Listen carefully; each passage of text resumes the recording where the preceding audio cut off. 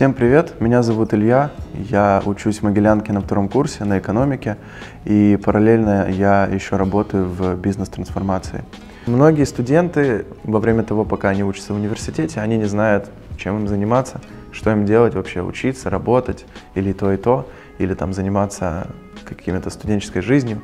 Вот, и сейчас я вам расскажу свой опыт того, как прошли первые два года моей студенческой жизни, что я делал – что я советую делать, что я не советую делать.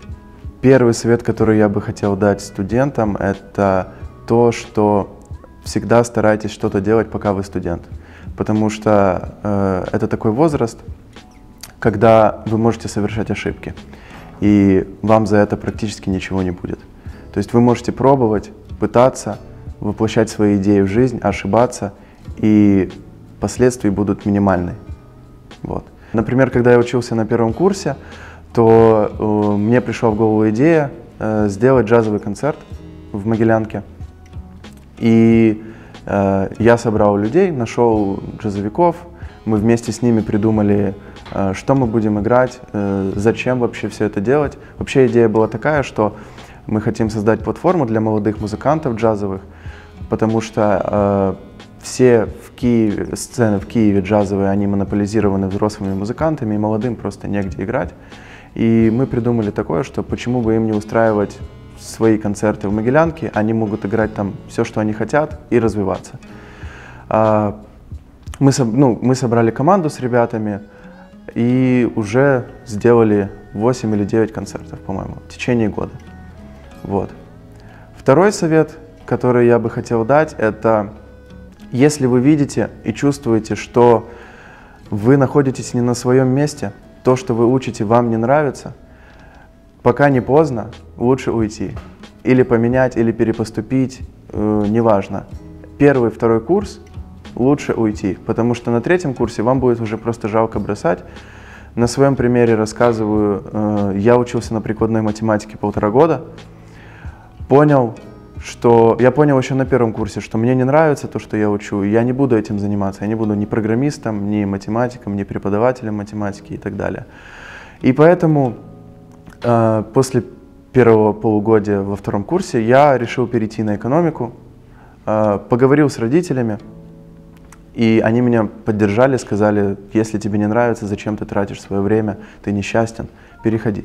Я перешел, и сейчас я учусь полгода, и я намного доволен ну, доволен намного больше, чем за полтора года все, которые я был на прикладной математике. Не бойтесь того, что родители скажут вам, да нет, ну куда, не бойтесь не оправдать их ожиданий, это ваша жизнь, вы должны делать только то, что считаете нужным, в разумных пределах, конечно. Если вы будете серьезны, если вы серьезно подойдете к этому вопросу, серьезно поговорите с родителями, я уверен, что любой родитель, он любит своего ребенка и он поддержит его.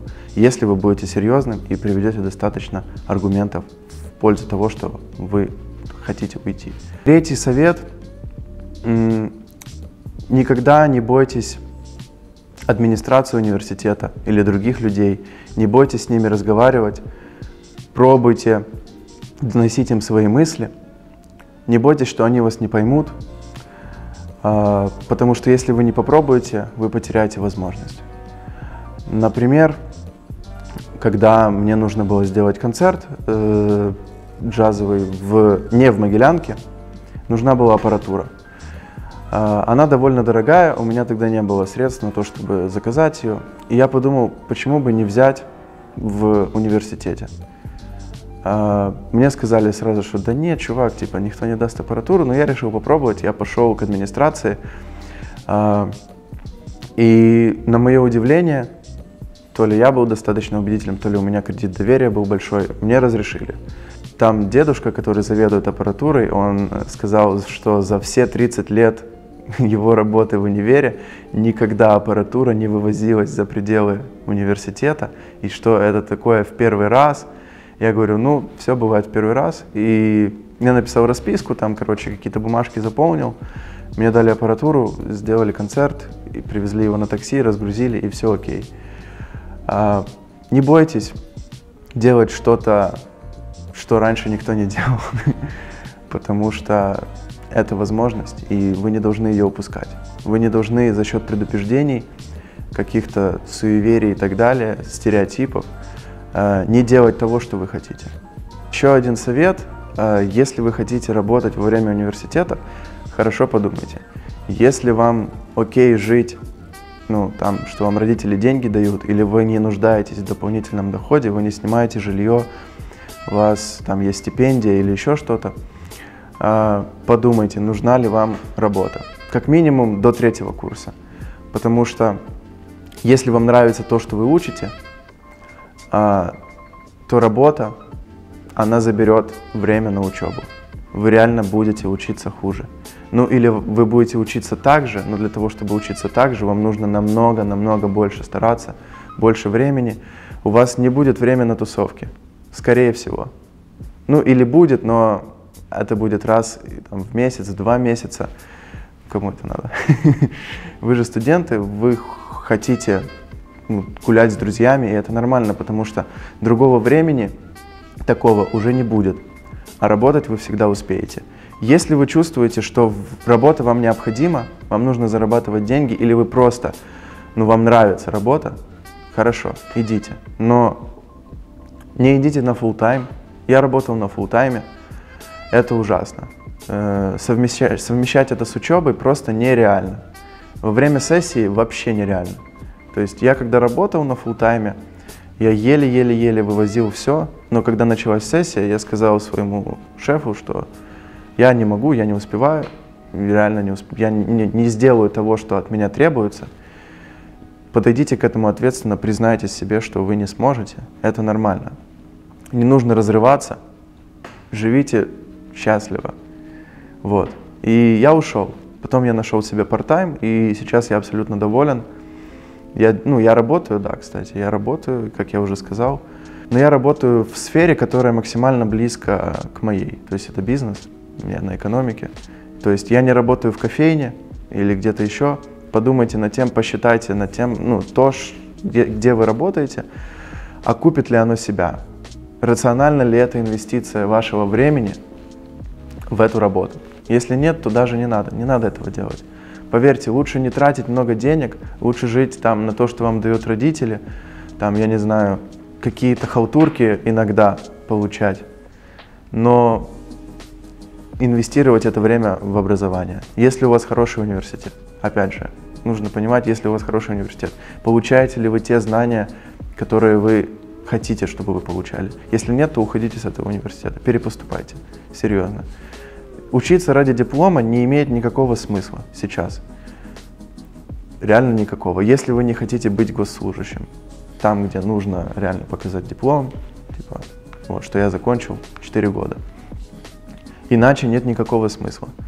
Вы просто потратите время, в итоге будете работать не по специальности, в итоге вы будете заново учиться на работе уже. Почему важно быть активным, как, пока ты студент? Э, есть две, две причины. Первая причина, почему нужно быть активным, пока ты студент, э, это потому, что пока ты студент, ты можешь делать ну, очень много вещей, э, в том числе заводить новые знакомства, тусоваться с ними, делать что-то вместе с этими ребятами, участвовать в студенческой жизни, и это опыт. То есть вы приобретаете новые знакомства, которые в дальнейшем, в будущем, вы не знаете, кто кем станет, но если вы выбираете людей правильно, то есть свой круг общения, скорее всего, эти ребята добьются какого-то успеха и могут быть вам полезными. Это такая прагматическая, очень материалистская, ну, типа вещь, э, которая работает. Второе, это, как я уже сказал, опыт. Вы что-то делаете, вы пробуете, вы ошибаетесь, вы приобретаете опыт. В дальнейшем в вашей работе, в вашей жизни просто это вам ну, будет очень полезно, потому что вы это уже прошли здесь. Вы научились, например, общаться с людьми, знакомиться с людьми. Когда вы пойдете на работу, вам будет намного легче, потому что у вас есть уже этот навык, навык коммуникации. Вторая вещь э, это то, что, например, если вы не очень хорошо учитесь, если вы активно занимаетесь студенческой жизнью, Поверьте мне, работодатель, когда будет брать вас на работу, он оценит. Я общался с одним э, парнем из, э, он партнер в KPMG, это большая консалтинговая компания, и он мне сказал, как он берет человека на работу, студента. Он берет двух людей, два типа. Первый – это круглый отличник, который все там время учился, не занимался активностью, но он очень много знает. Он его берет. И второй тип – это очень активный студент. Он смотрит на оценки, да, там где-то есть 70 и так далее, где-то тройки, четверки, но он смотрит на то, что этот человек делал во время того, что, как он учился. Он смотрит на все его проекты в университете, э, смотрит то, чем он занимался, что он сделал, что он не сделал и так далее. И он такого человека тоже берет. Он не берет только одного, того, кто плохо учился и ничего не делал. Значит, этот человек просто приходил домой, открывал бутылочку пива и смотрел телек. Такой человек не нужен, поверьте мне. Поэтому быть активным во время студенчества очень важно. Это опыт, это ваше будущее, это ваши навыки, это ваши друзья в будущем. Очень важно.